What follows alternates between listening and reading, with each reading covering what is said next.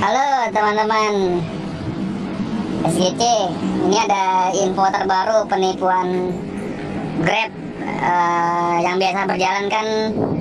Eh, Grab itu minta nomor yang dikirim lewat SMS Disuruh disebutkan.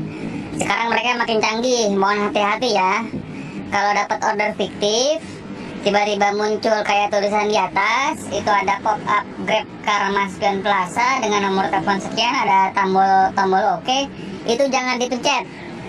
Nanti kalau om-om semua pencet itu up, handphone om langsung mati dan langsung dihack.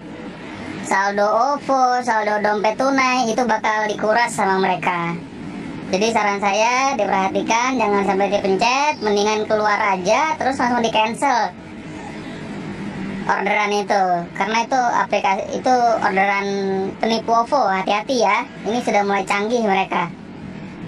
Jadi kalau yang uh, terburu-buru dapat uh, apa message kayak begitu tolong diabaikan saja. Jangan dipencet oke-nya ya. Terima kasih. Mudah-mudahan